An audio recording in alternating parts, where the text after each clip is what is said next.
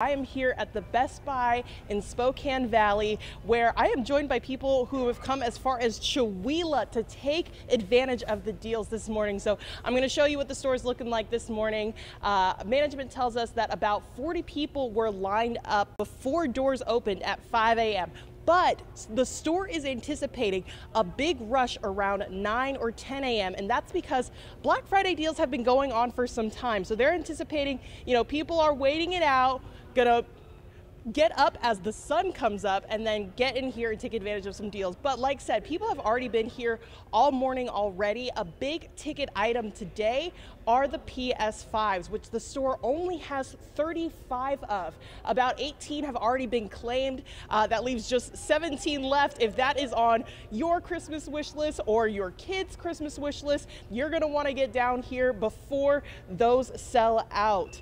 Uh, it's estimated 144 million people will be out shopping today across the country. More than two thirds say they want to search for bargains in person this year.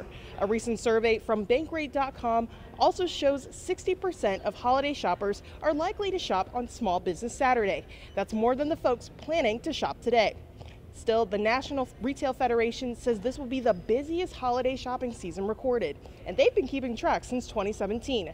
Nearly half of 500 retail business owners say they plan to offer steeper promotions to get more shoppers out, as Americans have grappled with record inflation.